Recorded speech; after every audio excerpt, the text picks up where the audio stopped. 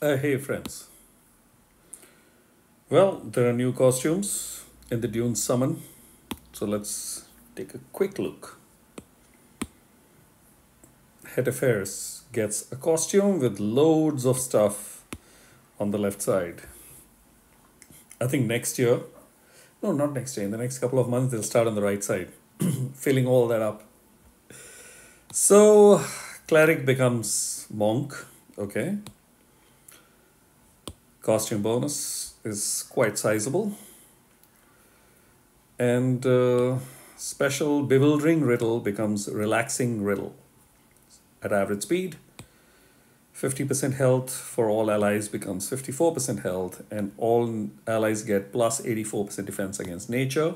It gets reduced to plus 64%, and a further 3% increase from the previous further 2% every time they are hit during four turns. All enemies get minus 40 becomes minus 45% accuracy. So accuracy is going to be more effective in the costume. So there you go. Obviously, uh, the cool part is 60% chance to perform blah. That is 10% boosted health and cleanses the latest cleansable status ailment from all allies. Passive from 60% becomes for the costume. And I think also for this, it would be, it becomes 100%. And there is an additional one. Character recovers 5% health when they receive a buff or a positive stack.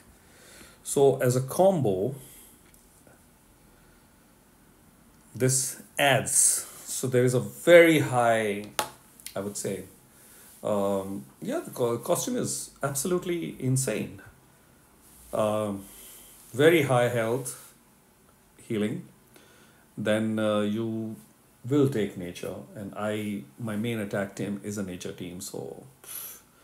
But stealing that buff, defense buff, really helps knock these guys off, and that's where this guy comes in handy.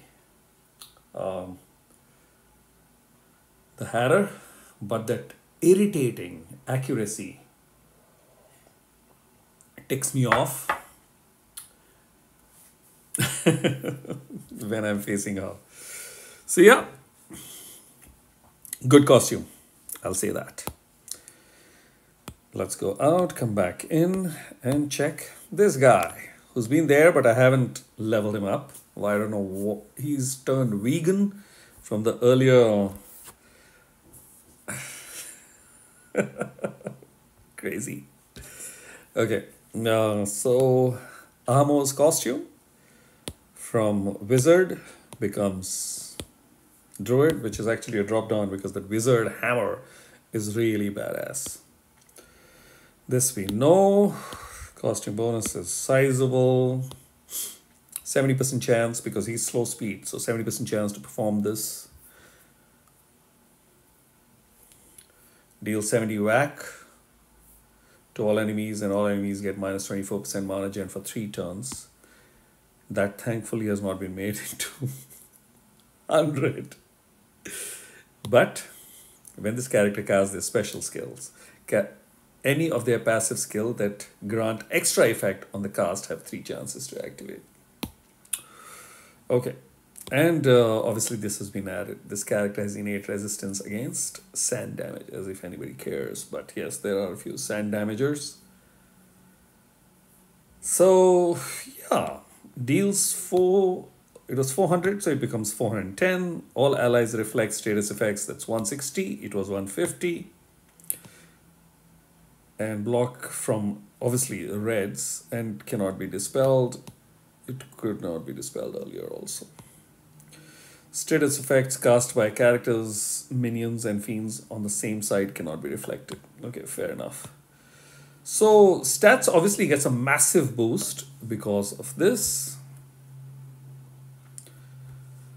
This adds and this adds, but this is a downgrade because when the this talent would activate, it would be a big hammer. Uh, well, nothing much has changed except little additional 10 10%. But uh, the reflect is conditional. If there are if I don't take reds, I really don't care. So he is basically a slow speed hit all hard fellow. So that's it.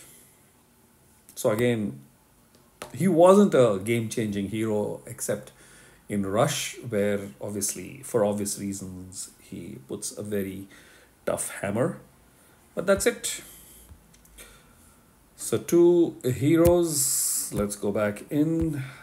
Costume makes her even more powerful because of the heal and the ailment of accuracy. And uh, costume basically adds onto the original, but nothing significant in terms of change or enhancement.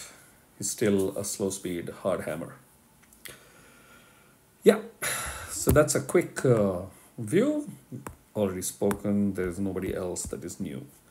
So, these two newbies. Cheers.